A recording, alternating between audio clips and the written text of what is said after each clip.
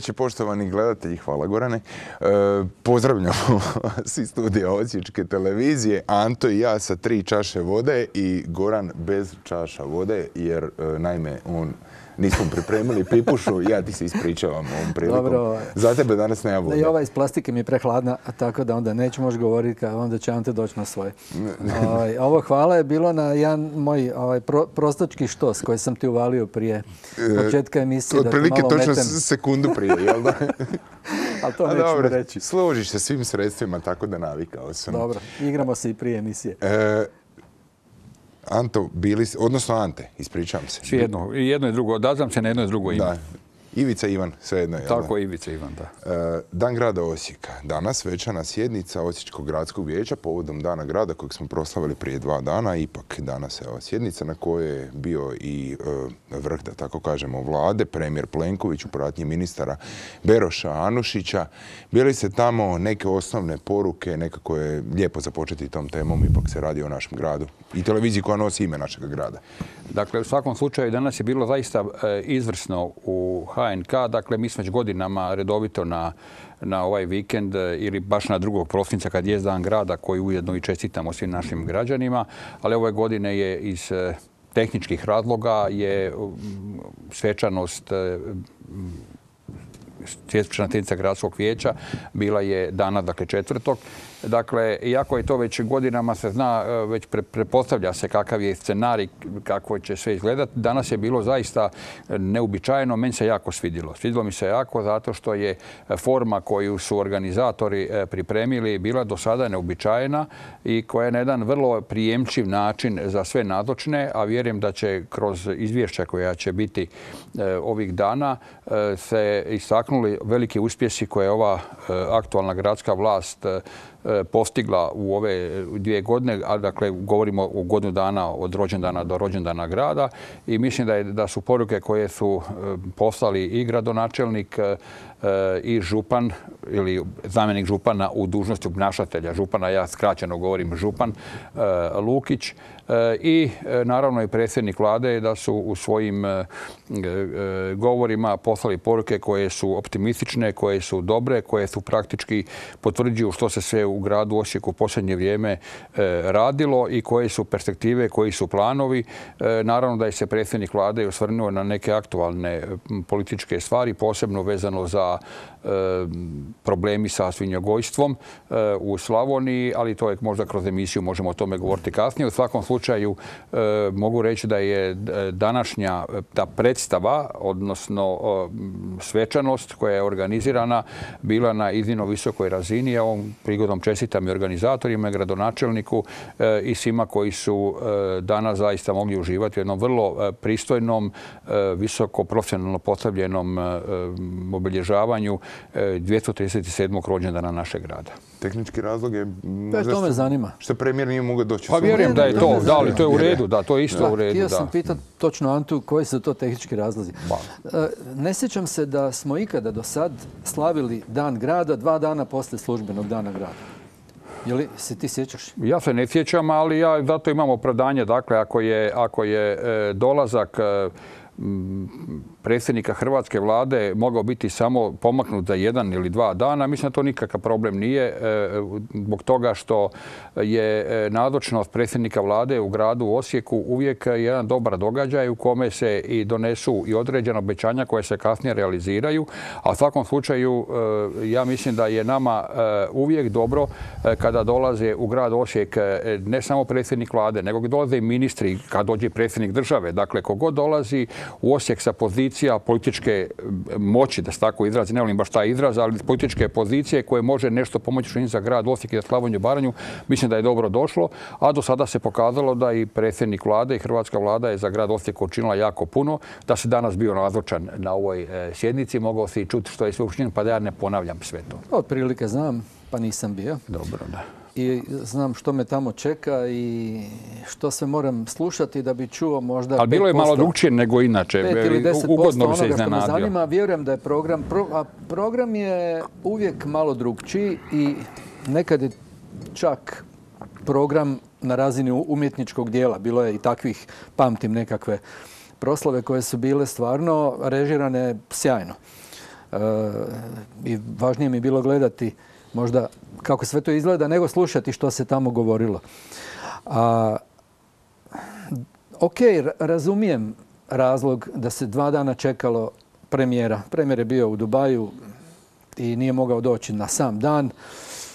Opravdan izostanak, reklo bi se. Ali, su, ali je program svijedno od drugog, trećeg popunjava. Da, nije, nije, da se nije u gradu događalo. Od... Da, no, ovo je središnja proslava. I neću sad se upuštati u kontriranje nekakvo žestoko u tom smislu, samo bih eto ustvrdio činjenicu da su se do sad svih ovih godina od kad slavimo Dan grada, pa i kad smo ga slavili 14. travnja, čini mi se, u bivšoj državi, Dan oslobođenja Osijeka. Hvala Bogu, bilo je ne ponovilo se. Ah, dobro, ajde, neka, ti stoji. Ne mogu to prešutiti. ja, sam, ja sam ponosan uh, na dan kad je Osijek oslobođen od fašizma. Ne, tada je se puno ljudi nevinih ubilo u gradu Osijeku, kad su partizani ušli u grad, tada je bilo ubijanja intelektualaca, političara e, i, i, normalnih građana i ljudi. Taj dan je dosta ružan u povijesti grada Osijeka, ali evo imamo različite stavove oko toga. To je Imali smo i spomenik na mjestu stradalih e, građana ovoga grada koji čak i nisu bili mobilizirani u, bilo koju vojsku, a poginuli su njih dvadesetak, 18, 20, koliko ih je bilo u nekadašnjem parku kulture, danas i kralja Tomislava. Taj spomenik su dinamitom digli u zrak e, onih ratnih godina e, domovinskog rata naši, naši su ga digli u zrak, spomenik nevinim građanima ovoga grada, a to što su oni stradali e, to je isto bilo nešto što bi trebalo obilježavati jer su to naši sugrađani koji su taj grad zadužili i svojim mirotvorstvom i svojom urednom građanskom ulogom koju su imali, a nisu bili opredeljeni ni na jednu stranu da bi ih netko trebao prezirati i ovako ignorirati e, to njihovo e, mjesto gdje su pokopani, koje je danas obilježeno jednom teško oštećenom pločom u, u ravnini tla na, na mjesto onoga spomenika koji je ipak bio umjetničko djelo, bez obzira na to što simbolizira nešto što se tebi ne sviđa, ali on je imao svoju vrijednost i bio je uspomena. U civiliziranim državama su se takvi spomenici spremali negdje, takvi kakvi jesu, nisu se dizali u zrak i ugrožavalo okolno stanovništvo tim eksplozivima, ali dobro, to su bile takve godine. Ja sam to je bila digresija. Ja mislim da je isto mala digresija. Mislim da inače, e, ja sam prihvaća toga da se e, u Hrvatskoj e, spomenici koji su dvojbeni, da se svi na jednom mjestu, da se saberu, pa ko voli neka, neka izvoli, ali ima i spomenika druge vrste. Ti znaš da je, na primjer, u Slunju je stručni spomenik Juri Francetiću. Ja sam bio, ja sam na otvaranju toga spomenika. Dakle, od političara smo bili pokojni Merčep, i bio sam ja. Dakle, to je bio jedan obelisk ovake veličine je bio na kojem je jedna bila ploča koja nije iritantna. Ta je ploča pisala da se pobidiže spomenik, na tom mjestu je e, e, umro e, vitec Jure Francetić, na kojem je pisalo da je se spomenik podiže u čast borcu, velikom borcu protiv Četnika. Dakle, jer on je, njegove su najveće borbe bile Francetićeve protiv Četnika na Drini i tako dalje, gdje je spašavao muslimane slično. Dakle, kada se stvorila klima, taj spomenik je srušen po noći, a to u biti nije ni, ni, ni približno nije bilo nečemu što što predstavlja neki ozbiljan i veliki spomenik. Pa, na primjer, ne znam, e, na, na zidu crkve e, u Svetom roku bila je postavljena samo ploča e, Mili Budaku. Dakle, to je praktički, crkva se može tretirati kao neko kao privatno, ajmo reći, neko vlasništvo. Pa i to je u doba Ive Sanadera. Ko je podigao taj spomenik? to, to Mili Budaku ne znam. Ali, ne, ne, ne, o Francetiću. A Francetić podignu udruga Hrvatske domobran, Karlovačke županije, da. U vrijeme Ive Sanadera? u vrijeme Ive Sanadera. Ivo Sanader je izdao osobno nalog da se sruši da osobno Zato što je bio podignut kao provokacija njemu i hrvatskim pa Ja ne znam je kao provokacija, ali, te rišu, ali da, dakle ti opravdavaš rušenje toga spomenika. Ne, ja samo obrazlažem zašto je... A ovo, ovaj e, partizanski spomenik u Parku kulture to ne opravdava. E. Prema tome ja sam stava toga da treba prema spomenicima se odnositi e, e, kulturno, ljudski, ali isto tako ne smatraš i ti da je provokacija što skočeni u mauzoleju u Borovu, Borovu Smatram. Da, i mislim da vi to... Smatram. Pogotovo zato što tamo pišu neistine na njemu. Činjenične neistine pišu na njemu.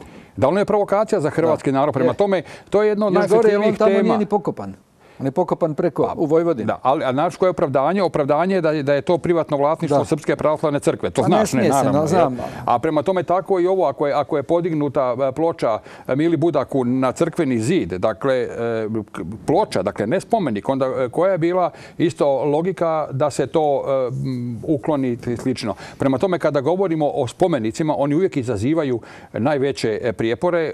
Ako se sjećaš koliko je bilo prijepora kod izdanja spomenika ocu domovine ovdje u Osijeku, kolike, koje sam ja... I sasvim drugih razloga, ali to smo već ali hoću reći, ali, ali uvijek oko spomenika su uvijek e, Bili su prijepori borbe, ovaj, sa, pa čak i oko grobova, pa čak i oko grobova. Recimo u Španjolskoj se ono otvorila ogromna rasprava oko... oko groba. Ne samo oko, oko njega, nego i oko Franka. Dakle, u, u državi koje on, e, dakle, Pavlić je tamo stranac, ali, ali nije, nije Franko.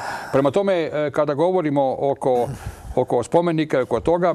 Počeli smo od 14 travnja. Je, je, dobro, vratit ćemo se. Dakle, ja, ja držim da to nije... E, Nećemo. Do kraja To nikad nije bio pravi dan oslobođenja grada Osijeka. To je dan kada je u Osijek ušla crvena komunistička, zarobljeno, da, crvena komunistička e, e, klika koja je ovdje ubijala, likvidirala, bez suda, pljačkala, ali to su kare različiti stavovi pogledi na povijest koju mi imamo. Naravno. Tu, tu državu koja je zarobljavala je poštovao cijeli svijet na pokop njenog čelnika je došao rekordan broj svjetskih državnika, a onda na pokop čelnika države koja je, oslobodila, oslobodila ovaj grad i, i, i koja je srušila tu vlast je došao samo e, turski predsjednik i nijedan drugi. Pa to je, to, je isto činjenica koju samo ja, spominjem. Ja, ja tu činjenicu uvijek e, e, naglašavam i jako je pozdravljam. Činjenica da e, predsjedniku Tuđmanu e, na pokop je došao samo iskreni prijatelj. To je bio Sulejman Demirel, i mislim da je bio Orban, ali tada nije bio e, lider mađarski. Mislim da je to pokazatelj da je Franjo Tuđman vodio hrvatsku politiku a Tito nije vodio Hrvatsku. Tito je vodio ne antihrvatsku politiku i, i, i, i tih svjetskih interesa, bilo zapadni, bilo istočni, ali to je kao opet posebna priča. To ko je, koliko je kome ko došao na, na, na posljednji ispraćaj, e, to, je, to je također. ali, ali ova moja... verbalne akrobacije po kojima smo uspješni utoliko što smo prezreniji u svijetu. Nismo bili prezreni u svijetu, nego smo bili pod Franjom Tuđmanom poštovani i sjećam se jedne scene e, neki su pregovori bili na nekom američkom brodu su neki pregovori bili. Bio je i Galbraith i ne znam ko je sve bio i sa srpskom stranom nekom. I u ovom trenutku Tuđman bijesno ustaje od stola i izlazi van. I za njim trče svi da se vrati za stol. Zato što je i on u takvim trenucima pred najvećim svjetskim silama pokazao da ne da hrvatske interese. Kad je Medlina Obaj dolazila u Zagreb, onda je neka kuća srpska izgorila na Banovini. Nešto je bilo neki incident i ona je, prvo što je ona, to znam iz pouzdanih svjedoka koji su bili u tom krugu razgovora šta se događalo, ona je počela sa tim njemu e, pametovat, predsjedniku Tuđmanu, kao da su spale neke srpske kuće i tako dalje. On je rekao, ste vi meni došli sa tom pričom ovdje, kao državna, državna tajnica američke država, a ako ćete tako, onda odite kod njih tamo, razgovarajte ovoga sa njima. Ona je, kažu da nikad s njom nikad tako nije razgovarao, nikad ona izašla da nije znala gdje je e, e, ovoga, u toj poziciji, jer doći kod domaćina i onda mu nešto sugerirati kako se događa, pa to je nakon oluje bilo. Dakle, bilo incidenata, bilo ovoga svega, ali e, stavi to kao e, poziciju da je to bila neka državna, nacionalna politika, to je stvarno nedopustivo, to Tuđman sebi nije dao. Zato što Tuđman sebi nije dao da mu e, svako kroji poziciju, da mu određuje što će raditi, ako on pravio kompromise, ustupke ih je morao raditi, kao što su zakoni oprostu, kao što su, ne znam, ustavni zakon o manjinama, ne znam što sve ne. Tuđman je u tom balansiranju šta je mogao što ne napraviti, je upravo to osigurao da mu je bilo najveći pokop u povijesti hrvatskog e, naroda, a to što mu nisu došli e, svjetski državnici, to govori e, o njima odnosu prema Hrvatskoj u to vrijeme. Danas se to promijenilo i hvala Bogu da, je tako. Upravo si rekao dva zakona koja vi na desnici žestoko kritizirate i imate strašan otpor prema Ustavnom zakonu o nacionalnim pravima nacionalnih manjina i prema zakonu o općem Samo što ga ja poštujem. Koji je, Tuđman donio. Donio je pod pritiskom, pokorio se, sagnuo se i donio te zakone. Uh, ali ti tvrdiš kako je on bio dosljedan uh, svojim uvjerenjima, kako je bio čvrst, kako je okrenuo leđa jednoj američkoj državnoj tajnici. a analogno tomu ispada da je Josip Broz Tito bio mek, e, podložan, poslušnik i tako dalje i da su ga zato u svijetu poštovali, a ne zato što je bio svoj, što je imao svoj stav, što je bio čvrst, što je napravio pokret nesvrstani kojima je kontrirao jednima i drugima i hofirao i jednima i drugima i umiljato janje sisalo jedne i druge i što je bio političar kalibra kakvog na ovim prostorima neće biti e, vjerojatno više nikad. A dakle, e, mislim da se malo zamijenio uloge i pripisao osobine onome koji ima sasvim suprotne, a oduzeo ih onome. Uspoređiva se ne može zato što ti ne, govoriš... se ne može Josip Broz Tito nije bio hrvatski političar, on je jugoslavenski političar. Je, a Franjo vođa Tuđman, zemlje, Franjo Tuđman je, je bio. Franjo Tuđman je izrastao u nacionalnog političara hrvatskog naroda i zbog toga se niti njihovi rezultati, niti međunarodni odnosi i, i pogled prema njima se ne mogu uspoređivati nikako. Jedan dakle, i drugi su bili vođa zemlje u kojima smo ali je pokazalo da je e, ta zemlja koju je Tito stvarao i gradio, da je se ona raspala kao kula od karata, do duše u velikoj krvi, e, e, u, jeku topova i tako dalje, dakle u, velikom, velikim ratovima. To je znak da je radio loše, da je sve što je radio, radio je loše i danas kada mnogi znaju u Hrvatskoj govoriti o tome da mi imamo, da pravimo reviziju prošlosti, u stvari najveća revizija najveća revizija prošlosti i najveća revizija e, Tita se dogodila time što je e, čuvena njegova rečenica da će se prije Sava okrenuti e, uzvodno od Beograda prema Zagrebu nego od Hrvati dobiti svoju državu vojsku. Stvaranjem Hrvatske države Hrvatske vojske dogodila se najveća moguća revizija Titovog dijela, odnosno nedjela, a onda sada je vrijeme, to ide dosta sporo po mom mišljenju, treba do kraja demontirati sve te ostatke tog njegovoga. Prema tome tome samo u povijesti jedino vječna revizija jest. Samo je revizija je. Dakle, što znači danas kada mi govorimo o tome kako je živio hrvatski narod u Jugoslaviji, dakle imamo potve oprečne stavove ti ja o 14. četvrtom recimo, jel? Imamo posebne e, e, stajalište o tome, to govori da tome se mora razgovarati. To se mora razgovarati ono, bez jala, bez strasti, ali se mora razgovarati argumentirano. Ne može se moj stav o 14. travnju ili o 10. travnju ili bilo čemu drugome odmah tretirati kao nešto krajnje negativno i da bi ja morao biti ovoga kuš. U demokratskom sustavu to ne smije biti tako. Slažem se i u znanstvenom pogledu sve je... E, sve je e, poželjno propitkivanje. Dakle, nema svetih istina koje su neupitne i, u, koje ne, treba sumnjati. Ali vis-a-vis nekog zdravog života i zdrave budućnosti nekakve uporišne točke ipak moramo imati u koje u koje ne trebamo sumnjati. Neke, neke uporišne točke moraju postojati. E, moj sin je, sad mi pada taj krasan slučaj, kada je bio klinac, išao u školu plivanja, e, nije vjerovao da je kraul najbrži e, način plivanja. Nego je on mislio da će on da on ima neki drugi način kojim brže pliva. I onda je morao proći ne, znam koliko vremena kako bi se uvjerio da su ljudi ipak e, godinama ranije utvrdili da je kraul najbrži način i da je on bez veze potrošio ne znam koliko mjeseci da bi se uvjerio da onaj njegov način koji on izmislio nije, nije baš najbolji. Onda sam i njemu tako rekao, moraš imati vjeru u neke stvari koje su ljudi prije tebe provjerili, utvrdili i ako je to znanstveno dokazano, onda tome vjeruj. Ne možeš sve propitkivati, jer ako ćeš sve propitkivati, nećeš u životu nigdje stići. Neke stvari jednostavno treba prihvatiti kakve jesu. Nas dvojica se nećemo složiti koje su te, ali u redu. Ajmo se vratiti na ovaj slučaj. Idemo se vratiti u emisiju. Sad ću vam nešto no, dobro. U međuvremenu je stigla voda. Je, je, zahvalio sam se donositeljici. Hvala Jasmini. Zamešljena ova današnja emisija kao tjedni pregled Dragi Hedla, kojeg imaju priliku naši gledatelji pogledati u dnevniku Osječke televizije nedjeljom, koji se zove 7 u 1. Što znači sedam tema smo pripremili za danas. U 21. minuti smo emisije. dobro, morali smo... Ne, ovo je dobro. ja, mislim da naši, ali ja mislim da naši gledatelji najviše vole ovake naše, e, neću reći eskapade, nego ovake naše intervencije kada otvorimo neku neku Sport temu. Bili da krenuli smo dana grada, onda smo spominjali 14. i drugi i sad... Rekao sam da razumijem e, zašto je odgođena svečana proslava dana grada za dva dana. E, razumijem da je e, grad Osijek uistinu od lokalnih izbora ove od konstituiranja posljednje lokalne vlasti. vlasti bitno napredovao, da je puno projekata napravljeno i da je za mnoga za Mnoge te projekte. Mnoge, mnoge od tih projekata zaslužena vlada i, njezin predsjednik.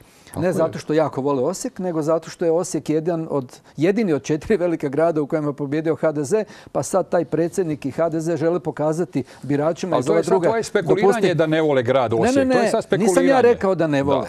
Ja sam rekao da to nije zato što ga vole. Ja, ja, ne znam jel ga vole ili ne vole. A mislim, nemoj tako... Ali, ali čim ulažu znači da ga vole. Čim ulažu, ne? Znači, ne, uopće ne. znači čim ulažu da. Znači da imaju interes da ulažu. To nema, kako je to veze ima s ljubavlju? Uvijek mora biti interes u Ja kažem da to što se u Osijek toliko uložilo uh, iz državnog proračuna, eurofondova i uz pomoć vlade, nije zato što ga vole, ali ne kažem da ga ne vole. Ako možeš tu finu razliku mogu, ovaj, tu razlučiti. dakle, nije zato što ga vole, nego zato da pokažu biračima druga tri grada kako će proći ako, budu u idućim pa izborima glasali za HDZ. I to je legitimno. I to je legitimno, ali kakve to veze ima s ljubavlju? Ili s neljubavlju? E, ima dakle, prema e, Slavoniji mi smo tu lukavu postupili. Prvi put do sad smo izabrali HDZ da nam vlada na lokalnoj razini i dobro smo profitirali od toga. Reći će neki, skinuli smo im gače. Pa dobro, ako je, ok, ako, ako smo sve to dobili zato što smo skinuli gače, ako to možemo podnijeti, a vidim da možemo, onda smo mi profitirali time. Ja tu nemam ništa protiv. Ako treba dva dana čekat premijera, pa i 22 dana da se vrati iz Dubaja ili iz SAD, ne znam odakle, da bi se napravila svečana sjednica, u redu razumijem. Međutim, Postavlja se sad pitanje e, vrijednosti. E, poštujemo li mi više naš grad, pa ćemo na onaj dan kad on slavi svoju godišnicu u, znak poštovanja prema gradu i građanima organizirati ono što treba na taj dan, a to je svečana sjednica grada, ili poštujemo više one koji su tom gradu pomogli i, i kod kojih imamo politički interes, pa ćemo tu sjednicu premjestiti sa onog dana kad je kad grad stvarno slavi svoj rođendan na onaj dan kad to odgovara e, premijeru koji je zaslužen za mnoge od ovih projekata u gradu. Ja se mislim, da se, ništa, mislim da se ništa manje ne poštuje grad zbog toga što je podsjetio, svečana sjednica gradskog vijeća pomaknuta. Dakle, grad, njegov dan grada je 2. prosinca. Ne. E, čekali više tjedana e, na otvorenje podvožnjaka na Čepinskoj iz istog razloga. Premijer je bio na godišnjem odmoru, vlada je isto bila na godišnjem odmoru. A nije premijer na kraju bio na otvorenju? Nije, nije premijer, ali, ali, je, ali došao ministar Butković, je došao i, premijerovi izaslanici. Pa da, ali dok je vlada bila na godišnjem odboru, nije niko od njih mogao doći i mi smo ga mogli otvoriti kako bi ga građani koristili onda kad je završen. Ne, e, pustilo se građane da čekaju više tjedana, da se vlada vrati iz godišnjeg odmora pa da svečanost bude primjerena i da imamo one koje su u, taj podvožnjak uložili. Opet razumijem, veliki su novci uloženi iz državnog proračuna, osjećane to nije koštalo ništa. To je poklon Osijeku. To je politički marketing, naravno, ali je poklon Osijeku i za taj poklon je gradonačelnik odlučio pričekati nekoliko tjedana.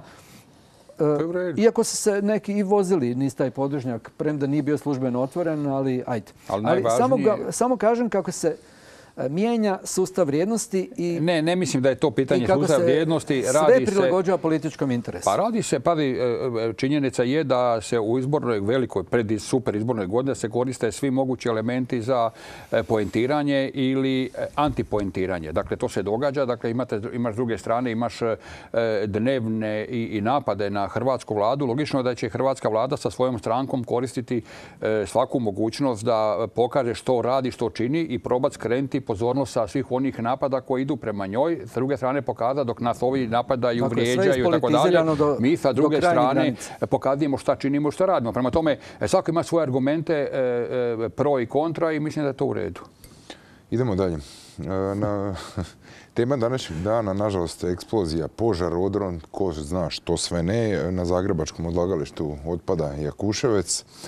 E, nekako light motiv one e, isprva e, udruge Zagrebe naša, danas stranke možemo, postalo ono zabijanje zastave upravo na Jakuševcu prije šest godina. Ovaj, šest godina kasnije čovjek je ostao bez ruke. Nama osjećanima je dodatno zanimljiva ta tema jer je bivši direktor Unikoma na čelu Zagrebačke čistoće, Davor Vić, koji se sigurno sad nalazi u jednoj prilično nezavidnoj situaciji. Navodno da je tamo državni inspektorat nakon onoga prvoga odrona 11. studenog, ako se ne varam ili tako nešto, prošloga mjeseca pronašao bio otpad kojem tamo nije bilo mjesto. Dočekalo ih je prokletstvo. Koje su, vukli su vraga za rep, što se kaže, zabijeli zastavu na Jakuševac i rekli da će ga riješiti, da će im to biti prvi i, glavni zadatak. I dobili puno glasova Da zatvore Jakuševac. I Ali i to treba sagledavati u realnim okvirima. Ne ti nešto što je 20 godina ili više bilo zapušteno i čime se gospodarilo na e, nestručan način. Predsjednik Milanović je danas izjavio kako bi trebalo ovaj, upitati, mislim pod navodnicima, upitati pokojnog Milana Bandića oko toga kako se gospodarilo. On ne može odgovoriti, on možda to promatra sa nebeskih visina. Možda partnere u ali ono, to, to je, dakle, mi možemo govoriti što hoćemo, međutim, kada neko se bori za vlast e, i onda daje određene poruke i obećanja. Ajmo putem obećanja, uvijek da se više nego što se realno može napraviti. Međutim, neka strateške stvari e, koje postavljaš u izborima, e, od njih se ne bi čovjek trebao odmaknuti, barem bi ih trebao pokušati riješiti. Jedan od glavnih e, predizbornih obećanja koje možemo imao u Zagrebu koji su počeli kao jedna aktivistička udruga, rekli ste vi kako se zvala i tako dalje, Zagreb je naša i tako dalje. Izrasla je u stranku koja je pobjedila, čak uvjerljivo pobjedila u gradu Zagrebu, e, zabijala zastave e, na, na Jakuševcu sa, sa naglaskom da, da je to ono prvo što će napraviti, e, da će se riješiti, ne znam, oni koji su odpad zbrinjavali pripuza i ne znam čega sve ne. Na kraju, evo, nakon dvije godine, ne da se stvari nisu pomakle, nego se događaju stvari puno problematičnije nego što se ipak mogli očekivati. Međutim, e, e, klima se promijenila u gradu jako. Zato što je jedna, velika razlika biti aktivist, bilo lijevi, bilo desni. Jedna je velika razlika sjedati na tramvajske trašnice, e, prosvjedati protiv izgradnje, ne znam, one onog velike garaže u Zagrebu, to Horvatinčeva, da, tako dalje. Jedna je stvar, iako da svi parkiraju tamo, naravno, to i ne može doći na red kako bi parkirao u centru Zagreba tamo. Prema tome, kroz, sve to je, dakle, jedna stvar je biti politički i posebno zeleni aktivist i kada dođeš na poziciju vlasti e, vladavine grada Zagreba danas kaže da to ne može riješiti sam grad nego da to može riješiti treba riješiti sa vladom. Dok istodobno kao stranka u parlamentu i van parlamenta nema retorike, nema riječi kojima tu istu vladu ne napadaš oprostite, ja mislim, i, još danas Plenković kaže mi ćemo pomoći gradu, gradu Zagrebu. Gradu Zagrebu treba pomoć, u redu je. Međutim, e, postavio bih to, opet se vraćamo na ovu e, malo priješnju raspravu kad si rekao da praktički se pokazuje danas kako se dobro u Osijeku napreduje, da tako bi trebali i ostala tri grada. Nisam to rekao. slično, slično si rekao. ne, ne, ne, kako nisi, šta Tako bi trebalo. Ne, rekao sam samo da HDZ e, pomaže Osijeku zato da pokaže tim drugim gradovima kako će dobro, biti ako budu glasali za HDZ. Tako je, da. Prema tome e, da je e, u Zagrebu da je HDZ na vlasti, vjerojatno bi se e, problem Jakušeca već kvalitetnije bolje zbrinjavao. Ne možete i očekivati da ću ja biti tvoj smrtni politički neprijatelj, dakle smrtni, sa najgorim mogućim kvalifikacijama, uvredama koje, koje nisu primjerene u političkom diskursu, a onda očekivati, e sada neka vlada spašava, neka vlada oboga izvlači. Mislim, to je, grad Zagreb je u financijskom smislu država u državi. Dakle, grad Zagreb je središte moći, ima financijske. Od svih drugih e, imaju ne ogromne novce, imaju prema tome, znaju li oni, ne znaju li oni, e, spomenuli su ovdje ovoga i, i Bandića. Dakle, Bandić je bio u gradu Zagrebu saveznik ovoga sa HDZ-om, a od toga je Zagreb imao benefite dok je HDZ bio na vlasti u, na razini Hrvatske, to je, to je, on je imao benefite, e, velike fondove, velike novce, gradlost, tako dalje. I ostale dugove nakon, nakon, sad to je sad, možemo spekulirati ovako i onako, međutim, e, Zagrebčan interesira da grad bude uredan, da bude čist. E, ja u Zagrebu imam stan na Jarunu, prema tome nekoliko sam puta, znači ne volim regirati na komunalne probleme u Zagrebu, živim u Osijeku, ali sam dva, tri puta sam bio reagirao sam e, e, na društvenim mrežama, jer to je bilo zastrašujuće vezano za pitanje, e, za pitanje ovoga otpada. Prema tome i dizanje cijena koje, koje su do sada imali, ne znam, vode, otpada i tako dalje, to je nešto što očito se oni ne snalaze u svemu tome, jer bez obzira što u političkom smislu oni znaju verbalistički pokrivati stvari i tako dalje, međutim u tome nekom stručnom on se promijenili su dvije uprave tako holdinga, ne znam koliko, sad da ne citiram sa brojkama i semenima i sa ljudima, ali mislim da oni imaju problem sa obnašanjem vlasti e, i kako će se to dalje događati vidjet ćemo. U svakom slučaju ovo je jedan veliki problem što se dogodio. E, treba se nada da će određeni radnici proći ovoga dobro, a što se tiče, tiče naše sugrađanina e, bivšeg, a vjerojatno i sadašnjeg, ne znam kakva je pozicija gospodina Vića, meni je žao da se to njemu dogodilo, jer on je jedan pristojan čovjek i sigurno mu nije sad ni jednostavno ni lagano ovo što mu se događa pa, sad ovoga u Zagrebu. Da. I moguće se lako dogoditi da on bude žrtovan centralan u cijelom ovom... U, u Zagrebu se u Bandićevim mandatima uglavnom ulagalo na ono što se vidi, a to je politički marketing. On je gradio fontane po Zagrebu, on je gradio kako se ono zove, centar e, domovinske zahvalnosti, kako li ono. Dakle, silne milijune je trošio... Da, napravio je rotor koji je opterećivao promet Zagreba, na ovaj rotor na, na Tako je, pa su ga morali obnavljati da, sad da, prije, ali je napravljen je, ali je to, je, to je jako rasteretilo ga promet u gradu Zagrebu, pa ne treba ni to smisliti. Ali zašto se ga morali obnavljati? Zato što je sfušaren, kao i mnogo toga što je sfušareno. Takav jedan objekt e, bi morao desetljećima izdržati. možeš bez... šta god hoćeš. Čovjek se ne može braniti, nisam pa ja Bandića, ali uspoređivati Bandića i Tomaševića po e, rezultatima je to je Pa naravno, on je bio šest godina, sedam mandata, šest ili sedam mandata je imao, ovaj je na pola Znači da je radio dobro dok ga je narod birao, prosti. Dakle, ne. Ne, neće neko biti izabran e, ne znači. samo tako. Oprosti ne, znači. znači da se dobro predstavlja o tom narodu i da je dobro zavodio narod. Pa šta ti hoćeš reći? Da svako onaj ko bude izabran da je to dokaz da radi dobro? Pa ne kažem da je to. to ali znači ako, dobar ali ako neko pet puta u kontinuitetu bude biran, znači da je nešto radio znači da je znao, da je znao se dobro izreklamirati. A i poznanje marketinga je također vještina i vještina i, znanje. Vještina, tako je, ali Zagrebčani sad imaju ogromnih problema sa infrastrukturom koja se ne vidi. To je ona ispod zemlje. To je vodovod, to je kanalizacija to malo malo puca neka cijev, malo malo nešto poplavljuje, nešto, neko, Ali kada se bori za doći na vlast, onda ti znaš, kada preuzmeš vlast, preuzimaš odgovornost, prijatelju. Tako je, preuzimaš odgovornost i ti preuzme odgovornost. I onda jednog dana moraš, u jednom trenu moraš reći, Dragi sugrađani, imamo ogroman problem s vodovodom, moramo zamijeniti podzemnu mrežu, to košta toliko i toliko, zato vam povisujemo cijene toliko i toliko. Očito ova nova vlast nema e, dobre odnose s javnošću da znala Zagrebčanima e, dobro objasniti zašto im e, povisuje cijenu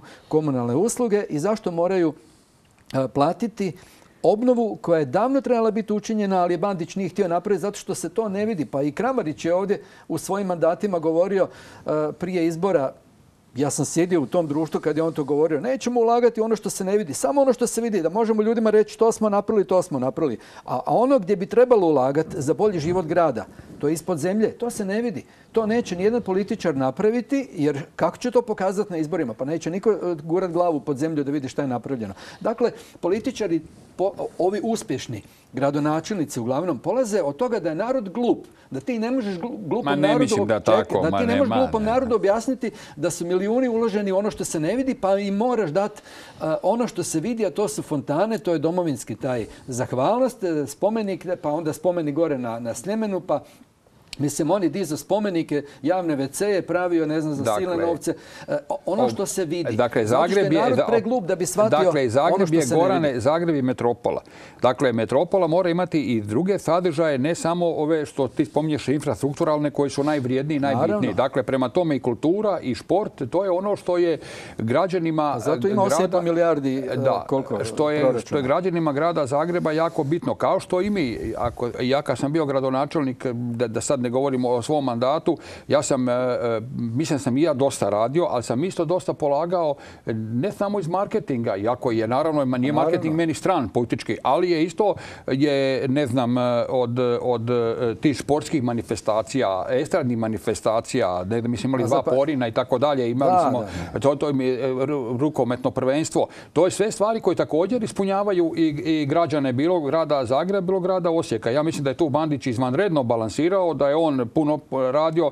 Teško je sad meni nabraja što on sve činio, niti ima potrebe ovoga za tim. Mi smo sad u poziciji da Tomašević mora odgovarati za ono da on obnaša vlast i da mora sam rješavati probleme, a e, ako hoće surađivati sa vladom, a zasigurno hoće i mora, drugče već je dobivao posudbe pozemice od, od vlade, onda mora i sam taj odnos biti malo drugačiji. Znaš, ljudi, politika se temelji na osobnim odnosima. E, čak se i naš odnos, ovaj medijski se odnosi čak i na političkim, na, na, na osobnim nekim odnosima e, koje mi imamo, a kamo da misli u politici gdje su interesi, što ste malo prije rekao. Dakle, ako postoji interes grada Zagreba da, da se riješi ovaj problem, onda i sama ta komunikacija i ponašanje prema predsjedniku vlade bi morala biti da jednog tavu niža u odnosu na uvrede koje on doživljava dnevno Zagreb u nije samo grad, Zagreb je i glavni grad. A to ima odgovornost, zato ima odgovornost i, i, i Plenković, ali ima odgovornost i Tomašević. Zato oni moraju zajedno rješavati, to je problem jer u stvaranje tog problema uh, je uvaljan i HDZ.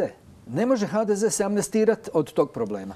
On je isto na neki način snosi neku odgovornost. Temeljnu odgovornost za, stanje u Zagrebu snosi SDP, koga je Bandić bio dva mandata bio njihov gradonačelnik, od pet koliko ih je ovoga obnašao i u temeljem, i, temeljem te vlasti od tih 7-8 godina stvorena je piramida ponašanja koja kasnije ovoga je bila. HDZ, tu, HDZ je tu pragmatično se e, priključuje, time praktički imao su, vlast u, u, u Zagrebu, koji je Bandić bio taj koji je ovoga upravljao, ali HDZ na takav način neutralizirao svoje slabosti u samom gradu Zagrebu, slabije stranke u gradu Zagrebu, pa je uspjeo na takav način to na neki način premo sada i HDZ u nove poziciji u gradu Zagrebu, mora tražiti nove kvalitetne ljude, mora se pripremati za sljedeće izbore, parlamentarne, lokalne, tako dalje, ali e, ljevica koja je preuzela vlast, čak ljevije od, od, od SDP-a, ona mora pokazati e, sposobnost upravljanja gradom Zagrebu, ona, ona ove dvije godine to nije pokazala, čak i najtvrđi njihovi neki, e, rekao bih, udruge koje su njih podupirali, te zelene udruge i tako dalje, sada su oko ovoga reagirale vrlo oštro i vrlo,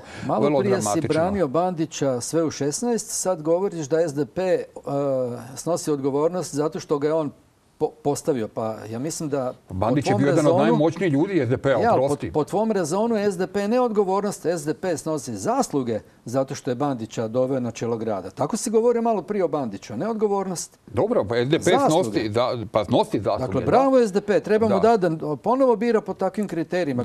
Ali takvog čovjeka kakvog nema SDP. Takvog čovjeka kao što je bio Bandić. Dakle, Bandić je se radično s SDP-om jer SDP e, nije mogao pratiti i njegov način ponašanja, e, njegov način vođenja gradom, e, njegovo jačanje, jačanje, političke pozicije i tu je došlo do... Bio je on je došao, par excellence. Došao je u sukob sa Milanovićem, jel tako bi? Onda na kraju on se sa, sa Milanovićem se radišao, ne sa Račanom. On da, tako i, je, tako i, i, onda otišao praktički svojim tako putem. Bio je politički, uh, kak sam rekao, Populist. Populist, Tako da. Je, da. Bio je excellence. imaš i ti toga, da kako. I političkog marketinga. Stalno mi je ona slika kako, kako si sjeo vozi tramvaj. Mislim, sigurno nisi vozio zato što si htio vidjeti kako je to vozi pa, tramvaj. Nego si vozio da to ostane građanima upamćeno I ostalo u, u sjećanju da si ti zaslužen za tu prugu pa koja je napravljena tamo do Bikare. Je, to je tvoj spomenik. To je tvoj spomenik, ok. Exegi monumentum. E, da. Samo što, što nisi spojio još preko zeleno, do zelenog polja. To nisam stigao, ali će, mislim će ovaj mladi gradonačelnik to riješiti. E, sad ste me podsjetili na jednu stvar s ovime, Gorane. Ti ovaj, prije nešto više od deset godina, malo ću privatizirati etar, kad sam počeo raditi na Osječkoj televiziji, znate koji je bio prvi prilog koji sam radio? Anto Đapić najavljuje povezivanje Bikare i Zelenog polja. Da, sjećam se, kiša je padala kad smo da, tramvajskom prugom. Sad znači prvi teren. Sad je jasno kakav je vizionar bio da je i prije deset godina ovaj, govorio što će se dogoditi, pa a, još se nije dogodilo. Problem je, problem je željeznička pruga i... Sad na zadnjem gradskom vijeću, uoči ove svečane e, sjednice gradskog vijeća, e, bilo je govora o, rezultatima rada gradonačelnika i o proračunu i tako dalje i onda je bilo govora i o Leopolda Mandića o prolazu, da. I onda je Piližota usto i rekao da nije to samo njegov uspjeh, nego je i SDP o tome vodio brigu i borio se. Onda sam ja ustao i rekao, ja sam pokrenio. Ali to nema veze u konačnosti gleda ko je imao snage i moći da to realizira. vlast u, koja, u, u se mandatu se nešto dogodilo. Tako je, da, to je politika. Idemo dalje e, s jednom temom koja se indirektno e, veže također uz grad Zagreb. Nakon gotovo četiri mjeseca pritvora 102 Belu Bojsa, zatočena u Grčkoj, e, počela su izlaziti pred suca i iznositi svoju obranu. Premijer Plenković je prije sad već dosta vremena izjavio kako nas uskoro tamo očekuju dobre vijesti. Odvjetnik jednog od zatočenih zatočenih e, bojsa poručuje bolje da ne priča ništa, samo nam nanosi štetu. Idemo se zadržati na komentarima. E, pitanja, pitanja čisto da, da obuhvatimo svih sedam. Dakle, premijer Plenković pokazuje onako vizionarstvo kako je Ante imao prije deset godina. Rekao je uskoro, a to uskoro je već e, više puta ponovio kad je uskoro prošlo i još uvijek sad... Prosti, ja da sam bio gradonačelnik, ja bi, ja bi to riješio da sam bio tada, ali nisam bio. Da, svaka čast. Da. Riješit će sigurno neko, ako ne Radić, onda neko drugi. Problem je za... Znam, preći preko pruga, željezničkih. Neće, nećemo, da, ići će se na rampe, ići će se na, na rampe, ali produžit se jeftinije, to, to, to ne možemo. E, dakle, e, naš premijer je najavio prije koliko, dva, tri, dva, prije dva mjeseca možda da će uh, uh, uskoro uh, dečki izaći. Nije baš Prvi put je to, pa ja mislim da četiri, pet puta su ga već pitali na presicama i uvijek kaže uskoro. Sad rekao do kraja tjedna da će se znat, a odvjetnik jednog od njih je danas rekao ako budu do Božića da će biti dobro, da on očekuje da bi mogao do Božića njegov klijent biti pušten. Na kraju ispada da je Milanović bio u pravu kada je napadao grčko pravosuđe, jer to što oni njima rade, to je stvarno nekorektno. 120 dana ih drže u pritvoru, a dokazalo se da niko od njih nije ubio onoga ono, ono 29-godišnjaka navijača, nego da očito dečko strada u, u toj gužvi, ne, potpuno slučajno, tragično, bez veze. Ne vjerujem da ga iko htio ubiti, jednostavno je tako, u mahanju onim nožem, on je negdje dobio taj prerezane sam mu žile i čovjek iskrvario. Mislim da se Plenković ponovo istrčao kao što se istrčao prije koliko sad već ima sedam godina da će privatizirati INU, da će otkupiti INU od Mađarske, da je donesena politička odluka. To se nikad nije dogodilo. Rekao je i da će istražiti, čim budu imali dovoljno podataka, da će objaviti rezultate istrage afere plin za jedan cent. Još uvijek ništa od toga, prošlo već više od 50 dana. Isto ovako rekao je da će ovi biti skoro da će doći dobre vijesti, još uvijek nisu došle, a to skoro je već nekoliko puta prošlo. Tako da želim im da se što prije vrate. Ne mislim da ih je Milanović da im je pogoršao situaciju jer suci koji o tomu sude mogli su biti samo motivirani da hrvatskom predsjedniku dokažu da sude po pravu i da uvažavaju ljudska prava. Ne, oni su u stvari pokazali da je naš predsjednik bio u pravu kad, je, kad im je Problem izražavao sumnju. Problem je taj grčki, grčki pravosudni sustav, odnosno zakonodavstvo po kojem istražni zatvor može trajati puno duže nego Da, da, koliko? Dvije, tri godine? 18 mjeseci. 18 mjeseci. Dakle, e, e, tvoj stav je e, pokazali dvostrukog mjerila u odnosu na izjave koje daje Milanović koje daje Plenković. Ajde. Dakle, Milanović je nanio ogromnu štetu sa svojim izjavama da treba uhvatiti sto Grka pa zamijeniti. Da ono što je ovoga sve pričao, izvrijeđao je grčku e, politiku, grčku državu. E, ja mogu osobno misliti koji on što misli. Ali on je predsjednik države. Jesu oni sad svete što ih drže još uvijek u zatvoru? Pa može biti. Pa kakvi su to suci? Pa može biti. Pa onda su zaslužili pa može biti, ali a druga, onda ima druge strane pritisak je na Plenkovića da nešto napravi, ali ovaj ne može napraviti ništa. Dakle, ovaj može samo pogoršati situaciju kao i za položaj Hrvata u BH, kao i za ovo sa svojim izjavama u kojima praktički e, demontira trud koji hrvatska vlada ili diplomacija čini da bi se pomoglo. Prema tome, Plenković je bio pod nevljenim pritiskom da nešto učini, da ne to napravi. I sjećamo se da je išao u Grčku, da je razgovarao. Prema tome, kada nešto kaže, bit će bolje, onda ga napanu, nemoj nam govoriti, samo nam nanosiš ovoga štetu. Prema tome, e, Grčka je neovisna država koja ima poveznicu povijesnu, sada ne, ne teoriju urota i tako dalje, sa Srbijom, puno bližu nego što ima sa Hrvatskom. Pa I, ne, I ne treba tu zaboraviti da, je tu, da su tu velike Oni su igre. Dakle, velika je šteta što ti mladići uopće išli u Grčku. Dakle, to je velika greška je to ovoga bila, jer se e, prije ili poslije to moralo na neki način brutalno i krvavo ovoga prelomiti. Sada kad se dogodilo, e, treba u tišini odraditi što se odraditi može što se može ovoga napraviti. Ja sam uvjeren i znam da E, hrvatska vlada, odnosno predsjednik Plenković, e, čini maksimum koji može da se tim ljudima pomogne. A, a kad bilo šta kad govori, onda se to tretira kao vata se za neko obećanje, pa ne može on njih izvući iz zatvora. Mi, mi možemo, šta znam, preknuti okay, odnose, mi možemo preknuti odnose sa Grčkom. Možemo zašto se onda usudi najavljivati nešto nad čim nema kontrolu? A zašto, zašto ne damo malo vremena? Ako je rekao dajmo malo vremena, pa vidjet ćemo šta će biti. Danas isto bio pritisnut pod medijima, pa rekao je pa sačekajmo do kraja tjedna pa ćete vidjeti. Ajde vidjet pa ćemo pa sačekajmo, pa ćemo onda komentirati pa ćemo opet u ponedjeljak pa ćemo šta se dogodilo. u svakom slučaju želimo, i ti i ja želimo, ja, želimo da naravno, ali ja sam gotovo siguran da. se ništa neće promijeniti do kraja. Pa ne mora biti, može biti da će dio biti pušten, da dio neće, ne znamo. Spekuliramo, razgovaramo, griješi se tamo zakon, e, teške su optužbe, praktički ta za ubojstvo što otpada, ali najveći problem je ovaj udruživanje, zločinačku organizaciju. Ako se to razbije, onda bi on izašao ovoga van. Međutim, e, e, nisu pod našom ingerencijom, ne možemo mi tome ništa. Prema tome, ja, ali ja sam uvjeren da, da, da vlada radi sve što može. Ali Nije ista pozicija. i grčki navijači udružili u zločinačku organizaciju da se idu tući s njima? Jesu, ali to je grčka stvorili tučnjavu. Ne, imali su onoga tipa koji je bio priveden jer su njegovi otpisci nađeni na nožu da, kojim je ovaj ubijen pa, pa, je pušten. Da, pušten ali to, ali Dobro, naši to istražni sudac odlučuje, tako je. To je, dakle... On očito neće pobjeći nikud iz Grčke, ja on bi izbrisali neću kada Mlanović u, u svojim stavima nije u pravu, ali ne, predsjednik države ne smije tako reći jer Ajde, Ante, da si ti sudac koji o tom odlučuje i da si posvećen svom poslu i da ga dostojanstveno obavljaš. Kako bi ti reagirao na riječi predsjednika druge države da, e, da si ti ne znam, poludivljak koji, koji će e, građane njegove države se iživljavati nad njima, da njima prijeti ovaj, egzistencijalna opasnost u grčkim zatvorima, da ne Ja bih reagirao potpuno suprotno, ali ne znači da će oni tako, ali ne znači da će oni tako postupiti. Opet govorimo o utjecajima, sada da, da ne, bude, ne spekuliram, i obavještajnog rada i, i, i suradnje i, i širih interesa. Ko zna, ko zna što se još iza toga događa? Opće sam taj odlazak e, tih mladića je meni vrlo problematičan, vrlo upitan, ali o tome će oni pričati kad se budu ako Bog da vratili do Božića Da se grčko pravosuđe prema njima ponijelo korektno u skladu sa evropskim vrijednostnim zasadama i poštivalo njihova e, ljudska prava, oni bi već bili vani.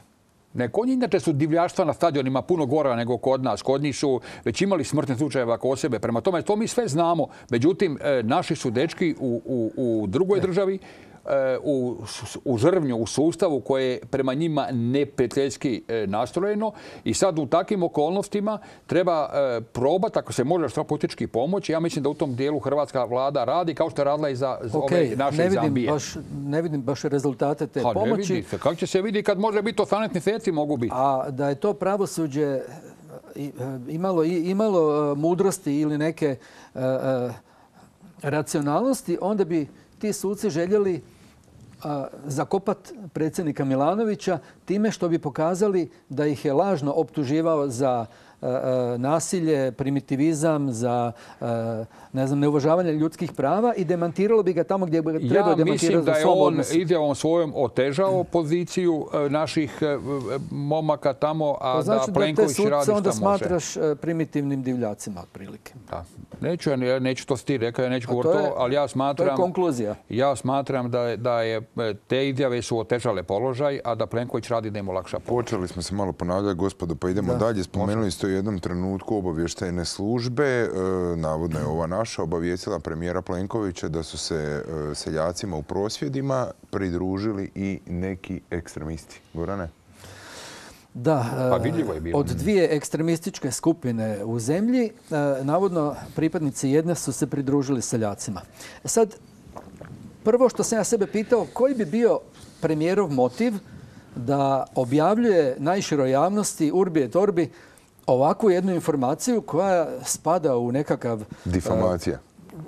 Ma nije difamacija, ne. To može biti jedan od motiva. Naravno da sam ga uzeo u obzir. Ali koji bi bio drugi motiv zašto Plenković objavljuje e, cijelokupno javnosti da postoje dvije ekstremističke skupine u Hrvatskoj i na neki način im daje informaciju da budu oprezni u budućem radu jer su pod nadzorom naših obavještajnih službi. U stvari je e, na neki način sabotirao dakle, i istragu e, rada tih ekstremističkih skupina. Jer sad će oni puno biti oprezniji u onome što dalje radi jer im je premijer i jednostavno otkrio tajnu da ih obavještene službe istražuju. Moj zaključak je da je on to rekao zato kako bi kompromitirao ovaj prosvjed seljaka. jer na taj način želi u stvari okrenuti javnost protiv njih. Ali je za mene, po mom mišljenju, to vrlo naivno, jer mislim da niko normalan neće povjerovati ono što je u podtekstu te njegove optužbe, a to je da su ti prosvjedi, prvo je rekao politički instrumentalizirani od strane oporbenih stranaka kojima je na taj način dao e, puno više na, važnosti nego što one u stvari jesu, puno više na njihovoj težini, one uopće nemaju ni tu moć, ni tu težinu da tako nešto, da natjeraju seljake da izađu na tu hladnoću, kišu i nevrijeme i da borave tamo satima i danima, e, zato što je to politički interes nekih stranaka. Ne znam, je to glupost par excellence. Drugo, sad, ovo je drugi način i kako ih ide kompromitirati, da su oni sad kao valjda produžena ruka nekih ekstremističkih skupina, što nema isto apsolutno nikakve veze sa stvarnošću. Njima se može pridružiti ko hoće. I ako nas trojica odemo k njima, oni će nas primiti e, na razgovore i neko će nas uslikati s njima, a uopće možda neće ni pitati koji smo, a kamoli, gospode, ste vi možda pripadnici nekih ekstremista, ako jeste, klonite se od nas. Mislim da je to ja mislim da potpuno malo je to e, teza. uopćeno gledanje. Dakle, prije svega e, predsjednik države i predsjednik vlade imaju iste informacije od svoje koje dobivaju. I danas predsjednik Milanović nije demantirao da E, da je ovaj baratao netočnim informacijama, nego, nego, nego, je, nego je prigovorio zašto je koristio te informacije. Međutim, e, ja ne znam jeste vidio taj dio na, na, na medijima gdje je momak, momčina onako u, vojnoj odori sa onim fišecima. Kako oni, su, ono, oni su rekli da, da, oni misle da se to na njih dvojicu odnosi. Ali, da, ali on je, taj momak je i rekao da su oni koordinatori stožera za Sisačku županiju i ne znam šta još nešto od, toga da ne samo da podupne, nego da su koordinatori, valjda i sada više u toj županiji više ni nisu. Dakle, da su oni su bili ti koji su to organizirali. Prema tome, ti kažeš, može se svako se može pridružiti. Međutim, ako, e, zašto sam ja uvijek izbjegavao, e, e, iako sam imao ja isto jakih uličnih pozicija, kako bih rekao, prosvjeda, mitinga i tako dalje, ali nisam se volio baviti s nečim što ne mogu iskontrolirati. Dakle, e, kod ovakvih situacija se može dogoditi e, da ti se priključi e, neko ko, želi sad njih iskoristiti i, i, proširiti, proširiti... I to im se dogodilo. I to im se dogodilo. I sad se vidi kod ovih zadnjih izjava Pokrovca koji dosta iznimno radikalno nastupao da sad poziva na neki razum, poziva na razgovor, se prekinemo častiti kao nekim teškim uvredama i tako dalje. Danas je predsjednik vlade govorio o tome, istaknuo je sve što je vlada do sada učinila za za svinjogojstvo u, Hrvatskoj i za e, neutraliziranje šteta koje su nastale temeljem ovih mjera. Dakle, ja ono što mislim da HDZ griješi e, po terenu, što to sustavno ne ponavlja, kroz svoje mogućnosti koje imaju ne znam, medijske ili neke druge, ponavljati što je sve, koliko je novaca učinjeno, što se sve čini, što se sve radi, a posebno treba naglašavati stvar da se radi o 3%, da je o 3% uništeno e, svinjskog fonda ovoga u Hrvatskoj i da stvari nisu uopće tako dramatične kako jesu. Međutim, uvijek će se e, kod nekih situacija će se probati iskoristiti e, u političke svrhe, u bilo kakve druge, sad da, da se tu ne, ne, ne prepiremo, ali u svakom slučaju mislim da polako, ali sigurno ova priča gubi dah. Ova priča gubi dah e, i da se to treba vrlo brzo razriješiti jer e, u današnjoj elaboraciji koju je imao predsjednik vlade u kome je ovoga vrlo jasno naglašavao koje su sve mjere poduzete, e, nema puno argumenata osim toga, osim te težnje i želje za samom tom svinjokoljom. Prema tome, sama ta svinjokola, to, to kolinje, ljepši izraz mi nekako kolinje ovoga svinjokolje, ne bi smjelo biti razlog za blokiranje cesta, za prozivanje vladu da želi uništiti Hrvatsku hrvatsko selo, da želi učiti hrvatsko svinjogojstvo i tako dalje. To je malo, to su kvalifikacije pretjerane. Ako u druge strane imate argumente i brojke koje govore da ja ne ponavljam, koje govore potpuno suprotno. Da, više puta. Više puta. Premijer Plenković ili predsjednik HDZ-a Plenković ima jednu lošu naviku, a to je u zadnje vrijeme posebno vidljiva da jako voli ponavljati neke stvari koje su već i vrapcima na grani jasne a to je šta je ova vlada učinila za ovu zemlju, šta je e, koji njegov grad e, gdje vlada njegovi ljudi učinili i šta je on učinio za seljake. Dakle, nije ovaj narod glup. Ako mu kažeš jednom, on će to čut i zapamtiti. Ne moraš mu 11 puta govoriti Oprosti, Gora, on se obraća e, čitavoj Slavoniji, Barnji, on se u biti ne obraća prosvjednicima, pa oni njemu su nevažni. On se obraća građanima kako svih. Bi, Kako bi pritisnuli preko obitelji i drugih te prosvjednike. I to rade, vjerojatno. Ali ljudi to znaju šta, šta je učinjeno. Ja mislim da je njegov potpuni promašaj bio to da je danas govorio, e, puno vremena iskoristio u Osijeku u koje je došlo potpuno nekim drugim povodima na otvorenje ovog e, medicinskog centra i, i e, proslavu Dana grada. On je e, iskoristio većinu svog nastupa na konferenciji za novinare da uvjerava seljake i one koji nad njima imaju utjecaj kako bi obustavili te prosvjede, ponavljajući nešto što uopće nije sporno. Seljaci, ali sporno je ovima, sporno. sporno ovima koji su izveli ne, ne, ne, njima je sporna sporno svinjokolja dakle... i sporno im je trgovina, e, odnosno, e, da, trgovina e, svinjetinom, dakle, ti si zdravom zato, svinjetinom. Ti si zato da se, da se mjere ne poštivaju. Ne, ja ću objasniti za što sam ja. Ja sam prvo za komunikaciju u kojoj će biti međusobnog razumijevanja. U ovoj komunikaciji koju je danas premijer pokazao nema tog razumijevanja. Dakle, oni su istaknuli zahtjeve Nebitno je što ja mislim o tome. Seljaci imaju dva zahtjeva. Da im se dopusti svinjokolja i promet e, svinskim prerađevinama zdravih svinja koje će prethodno veterinarske službe utvrditi da su zdrave. Je li to prethodna karantena ili ne znam već na koji način. Kad se utvrdi 100% da je svinja zdrava, onda nema nikakvog razloga zbog kojeg ta svinja ne bi mogla biti zaklana. Sad si veterinar, više sad nisi pravnik, inače si dobar Nisam ja, to, to bi veterinar. Kad veterinari to sve pregledaju i kad se taj protokol Tako razmišljaš ti, ali struka tako ne razmišlja. E, ali to je sporno. Ti ne možeš naći jednog veterinara koji će se osuditi kazati da treba u bilo kojem dijelu mjere popustiti. Nijedan veterinar to nije rekao do sada što sam ja pratio kroz medijski prostor. Ja mislim da je to što da, ti se stavljaš u poziciju logike, obične logike se stavljamo u poziciju. ako je svinja zdrava, da što ne bi išla. Ali je poanta je u tome da ako je, ako je u krugu, ako je u krugu jedna svinja bila bolesna i sad ima okolo 500, nijedna ne može ići u promet dok se ne bude reklo ukidamo ovoga mjere i 100% smo sigurni. O tome se radi. Dakle, mi govorimo hipotetski o zdravim svinjama. Mi, nisam ni ja veterinar, ali međutim, ja dopuštam sebi jasno je, jasno, to predostrožnosti koje ja razumijem. Kada su prozvali Grmoju i, i još nekog novinari, dakle ne, ne ja ili politika, nego neko od novinara, čak, čak, se mislim RTL, čak mislim RTL, e, koji nije baš sklon ovoga HDZ-u i Plenkoviću, su pitali kad, dakle, vi ste zato da se e, dažmiri na jedno ili na dva oka. Ne, nisam. E, ko će odgovarati za to? Prema tome, postoje uredbe Europske komisije, postoje hrvatski zakoni o, o, o zdravstvu i tako dalje.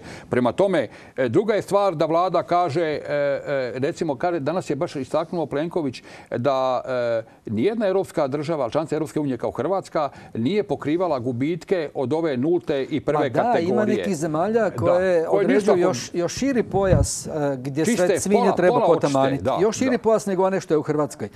Ali treba te seljake razumjeti. u prošloj emisiji sam rekao da je idealan pregovarač s njima potpredsjednik vlade Ivan Anušić i nadam se da će Plenković njega poslati jer on nije, ne idealno, on nije nikakav pregovarač s njima jer on ih ne razumije, ne može ih razumjeti. M što je odbio poziv na svinjokolju, još je rekao da nikad nije bio i da ga to ne zanima. Ne možeš tako razgovarati. On je tog trena njih otpilio kao svoje birače i zato se dogodilo, negdje, proći, dobio sam informaciju, 1700 koliko HDZ-ovih iskaznica da je presjećeno. znači pokido iskaznicu HDZ? Znaš šta, to su... I, Znam, i, on je izgubio te ljude. To su isto političke floskule. Vidio sam onu ženu koja je neku iskaznicu staru od HDZ-a, imam i ja negdje, nisam član HDZ-a. Jesam, bio sam među osnivačima, ali nisam više. Pitanje je li ona ikad, kad je ona danje glasač, je li uopće glasač HDZ-a, šta taj je? Taj trenutak kad je Plenković njih na ovaj način otpilio, on je njih izgubio kao podršku sebi i svoje stranici, kao izbornu podršku. I točka. Koga? Mislim da se možemo oko toga dogovoriti. Izgubio, ove, se, ove na ulici. Ove seljake koji ove na ulici, i, pa i njihove znači obitelji. Da, ali to ne znači da je izgubio sve svinjogojice u pa, Hrvatskoj. Naravno da nije. I ogroman broj pa njih je zadovoljan sa mjerama koje su dobili. Prosti. Najveći, najveći, najveći odgajivači svinja su oni koji, koji su treća i četvrta kategorija, posebno treća. I oni koji to rade oni masovno. Nisu izgubili, namireni su prema tome. nisu oni problem. Problem je hrvatsko selo. Jedan, e, jedno žito ovdje koje ima ne znam koliko tisuća svinja ne predstavlja hrvatsko selo. E, ako mi želimo spasiti hrvatsko selo, mi moramo biti posebno senzibilizirani prema ljudima koji tamo žive i koji će odande otići ako im budemo uništili substancu. A svinjogojstvo je substanca. Samo razgovarajmo argumentima. Ponovit ću još jedan put ono što isto kaže da je činjenica, da je samo 3% do sada uništeno. Ok, ali da, onda ajmo mislim da imaš dakle, perspektivu dakle, to, kad to Naglašeno je i da će se pomoći financijski i za obnovu ponovno oni koji, koji će biti na pa gubicima. Pa Prema tome... Pa će im dati svinske polutke uvezene, ko zna ne, odakle ne, ne, ne, ne, ne kolinje, ne da kolinje, nego da, se, da će se e, financijski nadomjestiti i onaj dio oni koji sad e, neće moći se baviti svinjogojstvom. Prema ti misliš da je puno, to, puno više u novcima nego što ja mislim. Ja mislim da ljudi vole jesti svoje kobasice. Ne, oni vole klati, očito. Neki vole klati. Pa dobro. Vole klati tamo te da, životinje ne, i tako dalje. Ne, ne, nemoj, ne, nemoj biti ciničan. Ne. U e, čemu je problem da dobiju polutke i da naprave svinjokolju u svom Pa problem je u tomu što oni znaju, kad jedu svoje kobasice, znaju čime su tu svinju hranili. A kad dobiju polu onda A to što je zaražena nema veze. Ajmo onda pustiti neka se pokolju te svinje i neka, neka i drže, neka je prodavaju, neka radi normalno. Može se naći, Ko će biti odgovoran? Te strane se još uvijek mogu približiti. I to može napraviti Anušić, to ne može napraviti Plenković. On je ovim svojim stavom u kojem je pokazao potpuno nerazumijevanje za njihove zahtjeve, te seljake izgubio. Ako će neko za HDZ spasiti dio tih izgubljenih glasova, to će biti jedino Anušić ako dođe ovdje pregovarati Nije to broj glasova koji, koji, će HDZ dobiti ili izgubiti izbore. Ovdje se radi, o, ovdje se radi o manjem broju okay. uzgajivača e, svinja, ne u kompletnom broju, a kamo da ne govorimo o kompletnom selu. Sve ove, sve ove traktore koje imaju moderne i nove, to je sve dio pocaja koje je Hrvatska država dala i to treba poštivati. A znaš kako, recimo kako mi funkcioniramo? Dakle, za gradom Osijekom ne može raditi ni jedna firma E, tvrtka koja je dužna, koja ima problema sa gradom, koja je dužna gradu.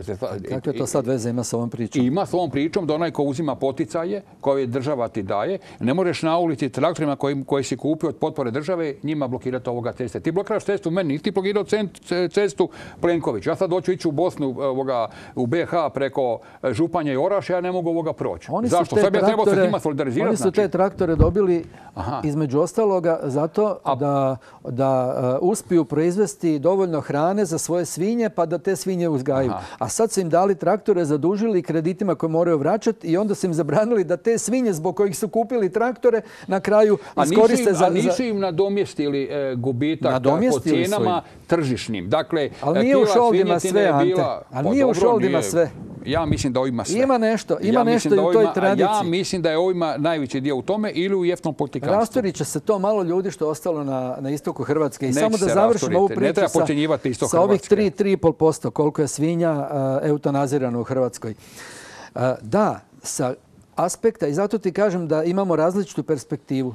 Tvoja perspektiva je e, ukupno stanovništvo Hrvatske i njihove potrebe za svinjetinom. Ok, e, sad sam čuo podatak da mi zadovoljavamo valjda 51-52% potreba za svinjetinom iz domaćih izvora.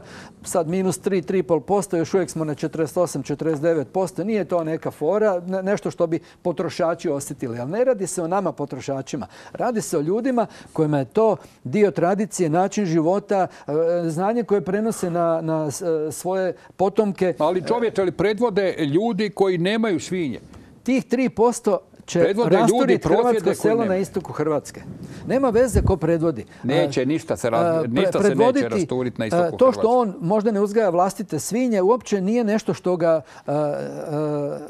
ne legitimira problema kao sudioneka Problema na hrvatskom selu kao, ja bih rekao, jednom od hrvatskih identiteta, da ne, ne, govorimo što sve značilo hrvatsko selo kroz povijest, nema potrebe za tim, obojica to znam.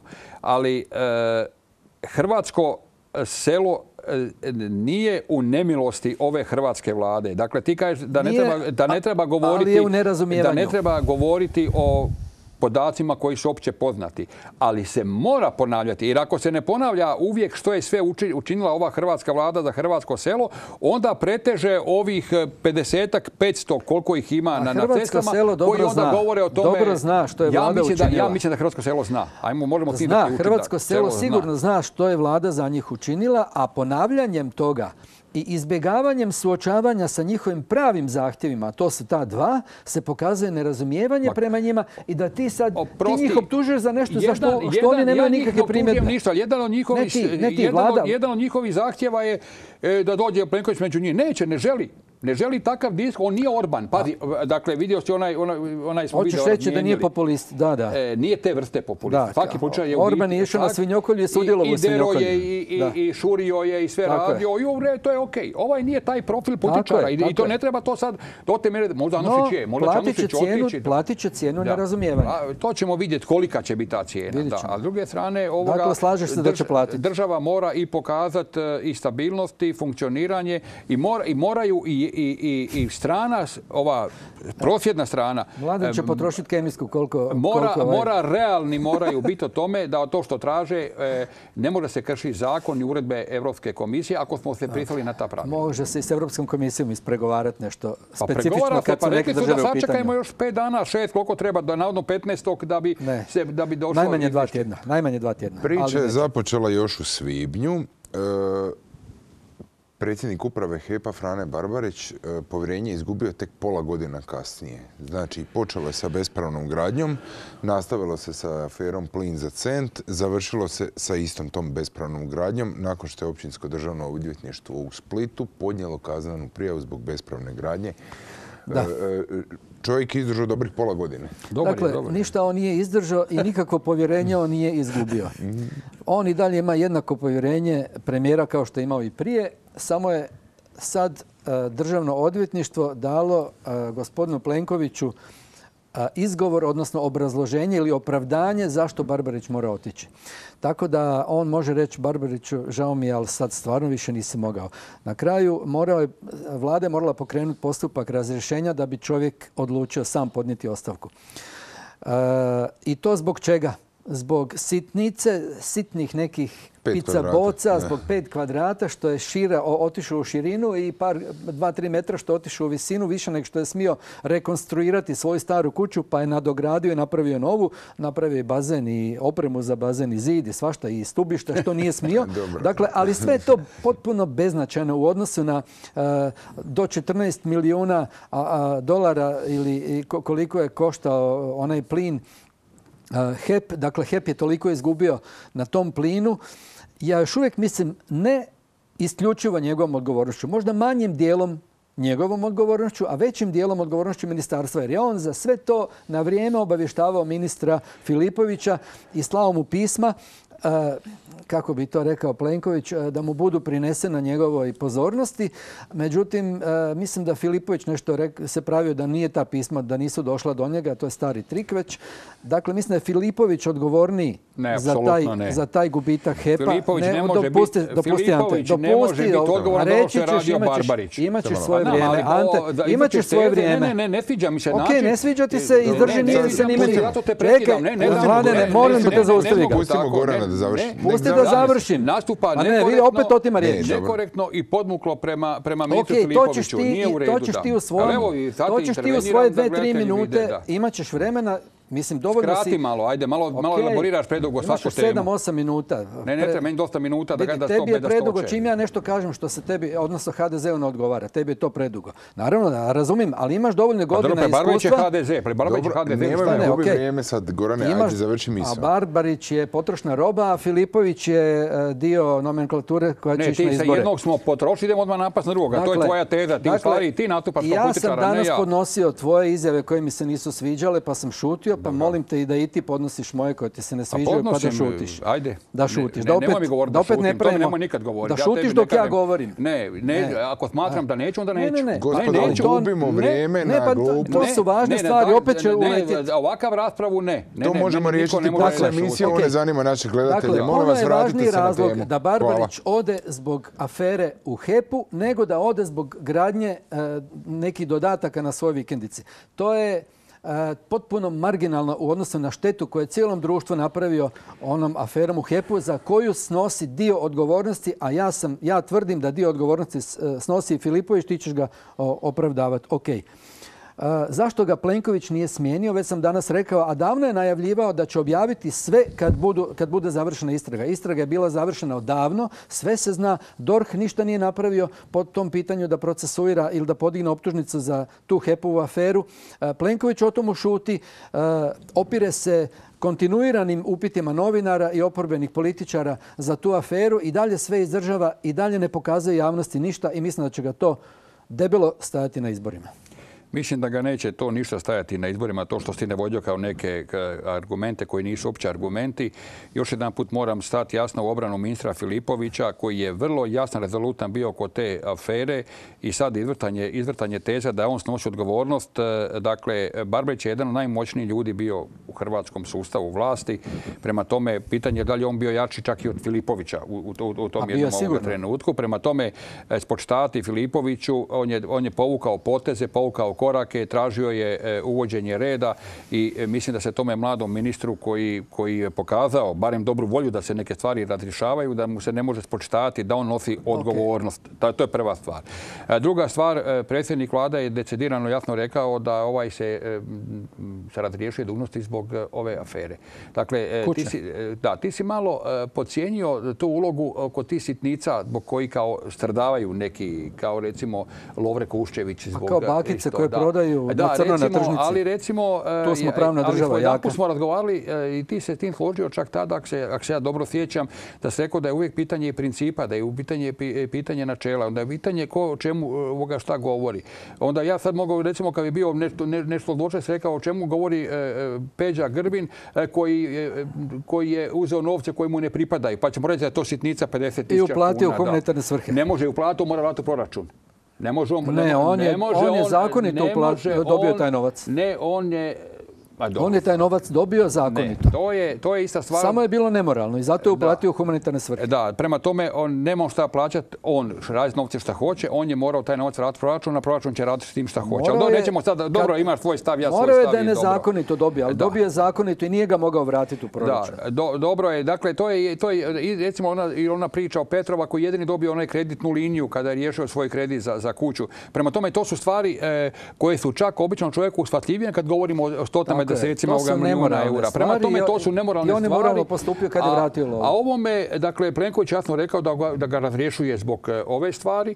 Iako, e, ja imam jedan problem kada ljudi pokliknu, ja onda, onda počnem e, na neki način, e, ja sam čak isto bio vrlo Neka, ne, Nekako ne volim da se čovjeka osudi e, dok nije završena kompletna procedura. Prema tome, još nije ni potvrđena optužni zahtjev, mora općinski sud kome je to predano, mora to potvrditi, pa tek onda počinje postupak na kome on može biti čak i oslobođen od, od toga zbog čega se ovoga progoni, pa će to pokazati ovoga vrijeme. Međutim, uvodi se kod nas se više počela pretjetati, ta, to je dobro, ta politička odgovornost, dakle, stvarno, ako nešto nije u redu... Pa ti ćeš čekati 10-15 godina da sud donese pravomoćnu presudu. Međutim, ja razumijem motive kojima se Plenković rukovodio svojedobno, nerazrješavanjem svojedobno, jer je e, u današnje doba e, mi praktički imamo sve nostalje e, ili veći dio nostalje one zlatne kune da su ljudi podavršavali bili po zatvorima. Dakle, do, do, dobrih menadžera do koji mogu voditi neke velike sustave nije ni lako, nije niti jednostavno. Prema tome ja, on, dakle, Plenković je u svojim argumentacijama kada je branio Barbarića govorio o tome da je HEP podnio veliki teret e, socijalne politike i tako dalje, pa vjerujem da i, o tom nešto može biti. I sad za kraj zaključujem, e, rekao si da će on e, platiti veliku cijenu ovoga za to što nije to rješavao na vrijeme kao je, to će samo tek pokazati ovoga vrijeme. Znači ti se slažeš da će platiti cijenu, samo, se, sam misliš da ona neće biti velika? Ne, pokazat će vrijeme. Da li će uopće platiti? Možda, e, možda, šta će, kako ćemo mi u slučaju da recimo Plenković dobije izbore e, većom razlikom nego što je dobio zadnji put? Kako ćemo onda reagirati na to? Da li ćemo se onda moći Evo, ja ću mu se nakloniti pred kamerom. U redu je. Okay. glede Filipovića. E, ministar Filipović je nadređen e, Frani Barbariću. Ministar Filipović predstavlja Skupštinu HEPA. Skupština HEPA bira upravu. Ministar Filipović je na onoj javnoj sjednici Saborskog odbora za, za, šta, ono što Grmoja vodi, ne znam za šta. Za korupciju. Da, protiv korupcije. E, vrlo oštro optužio Barbarića za, tu, za odgovornost u aferi plin za cent. I svi smo se normalno pitali, ako ima takvo mišljenje o predsjedniku uprave tvrtke u kojoj on predstavlja skupštinu i nitko drugi, zašto ga ne smijeni? A odgovor je vrlo jednostavan. Zato što ima i zato, sebe, ima, ima jače Zato što je ovaj moćniji. Je li to normalno u jednoj državi u kojoj funkcionira pravni sustav, u kojoj se zna, znaju pravila, da neko uh, ko je tebi podređen bude moćniji od tebe? A iz, iz koga on proizvodi, uh, izlači svoju moć? Pa jedino iz Plenkovića, zato što se sakvarao bojca, ti što su šule, šul kolege, ti, što se znaju Ti promatraš u idealističkim uvjetima taj sustav, međutim, mi smo daleko od toga, ne samo mi. Pa bil ti bio ministar, a da ne možeš smijeniti kao skupština pa, što bi ti kao gradonačelnik, ti si bio skupština gradskih tvrtki, ili tako? Jesam. Jesam. Pa jel mogu neko biti direktor, e, predsjednik uprave gradskih tvrtki? A nije bez mene, da, nije mogao. Nije bez tebe. I da ovako pokrade, ne pokrade, uništi uništi 14 milijuna dolara i da ti ga ne možeš smijeniti, a optužuješ ga da je on odgovoran za to. Pa, pa šta bi napravio? rekao bi neću, ako imaš imalo morala, rekao bi neću biti više gradonačelnik u sustavu u kojoj ne mogu smijeniti lopova ili lopove koji su to napravili, a DORH šuti ja sam imao, Ja se malo ću eleksirati za kraj. Dakle, bio sam predsjednik nadzornog odbora GPP-a od doba Vrkića. Bio sam predsjednik nadzornog odbora. I e, bilo, jedno, bilo je jednom rasprava o tome da bi trebalo podići ili ili subvencije ili podi cijene karata jer se nije moglo držati ta razina. E, tako. I sad u razgovoru kaže Vrki trebali bi ići podići cijene. Kažem ja ovoga, nema problema, ja ću komunicirati s javnošću, nema veze, ja ću. I mi smo to ovoga izdogovarali i ja sam iskomunicirao s javnošću da se podižu cijene tako, tako, tako, tako. I e, nakon e, dan, dva, e, jedan od političkih partnera, neće sad imenovat tko, je se tome protivio jer da to ugrožava i njihove političke pozicije ako se podigne cijena za te, te, te kategorije. I Vrkić sad opet zove na sastanak da bi trebalo sad ovoga E, vratiti kak je bilo. Kažem, ja to neću, ja, vi to napravite, ali neću ja biti predsjednik A naravno, moraš imati neko temeljno ne, postoji, ne, Dakle, postoji neka ovoga razina, ali ja mislim da, da, da, da je tu razinu ministar uh, Filipović sačuvao, da on sačuvao svoj obraz, da je izašao od ove čitave priče ovoga potpuno čist i sada je, neću reći da je došao na svoje zbog toga što je navodno ovaj razriješen zbog afere oko, oko kuće, ali svi znamo da je se to nagomilalo dosta ovoga problema problema. Međutim, sad je pitanje, e, sad, on, je, on je pase, sad je pravo pitanje ko će sad doći na čelo e, HEP-a. Pa doći će neki drugi Barbarić. Pa to... Ne mora, zašto bi morao biti Barbarić? Pa možda... Zato, ovo priča, što je takav stil vladanja. Ovo priča s GPP-om sad me podsjeća na nešto što se dogodilo u našem gradu prije... Pa isto tako. Ista stvar se dogodila prije godinu e, dana. Odnosno tamo da za prvi, prvi siječnja. Valjda 100% cijene karte od prvog siječnja. Ne, to je bila... I onda je dobio po repu od, od premijera. Nije, nije to bilo tako. To je bila, bila je pogreška e, tadašnje uprave koja je imala krive inpute, krive, krive procjene i zbog toga se zaletila ovoga sa tim, ali to smo uspjeli na nakon što je premijer nazvao gradonačelnika i rekao ne možeš ti dizati... A to je tvoja projekcija da je premijer nazvao Radića. Ja to znam, da ga je nazvao i da je rekao ne možeš ti za 100% dizati cijene karata u Osijeku, a ja ću kažnjavati frizerke koje su digle za 5% cijene. Ali ja, mogu, ali ja moram kazati da, evo sad imali smo i dan grada i, i, i grad dobro plovi i jedri, ali ja stalno i sustavno upozoravam da grad ne može, neće moći ovako biti jako dugo solventan i moćan kao što je sada, ukoliko ne budemo se odlučili na određene, ajmo nazvati to korekcije cijena. Evo recimo, udeću e, primjer firme e, e, Ukop, koje se nisu grobne naknade podizale od 2005. godine. Prema tome, a, a, sve je otišlo praktički ovoga gore, prema tome, a subvencije isto ne mogu pratiti potrebe troškova održavanja firme. Ali nije to samo ove godine 5 milijuna eura od, odobreno. I ti ćeš opet se naći u poziciji da pred javnošću kao predsjednik nadzornog odbora objašnjavaš. Ja nisam predsjednik nadzornog odbora. A član si? Nisam, ne, ne. Nisi ni član u Ne, ne, ne, ne. Ja, sam u GPP-u. A još, u koliko još? A? U koliko još nadzornih odbora? Ne znam, da, što je to interesantno. Pa, mislio sam da si u kopu. U kadličnom vijeću sam, ne, ne, ne, u kadličnom vijeću sam. Tako to možemo računati kao Ja mislim da je sedam ima, jel? Ili ima sedam? Čega? Upravnih vijeća i nadzornih odbora. Ko? Ti. Ima stranka, nemam ja, nemam ja. Aha. Nemam ja. Dobro. Krtke nam izreži.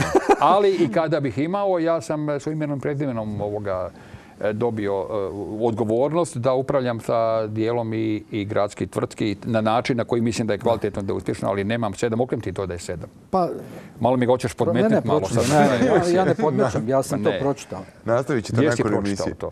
Pa negdje na portalima. Nisi pročitao, da. Ovaj, Čini mi se da je problem i 7 milijuna. Sad ne znam, nisam siguran kuna ili eura nenaplaćenih komunalnih doprinosa. Ako se ne varam u gradu Osijeku, ajmo krenuti od toga. Da, se to naplati. Sedam. A imamo dosta. Sedam čega god da je. Uvođenje reda je ja mislim, imperativ i u državi i u jedinicama lokalne uprave i samouprave. Prema tome, nema ništa besplatno. I kad imamo, recimo, pogodne e, karte za umirovljenike, za studente, za džake, sve to neko mora platiti i plaćaju svi građani. Prema tome, moramo jako voditi računa i moramo se računalno ponašati. Hvala obojici, hvala vam naravno i vama, dragi gledatelji. Malo smo produžili danas, nadam se da nam nećete zamjeriti laku i ugodnu noć.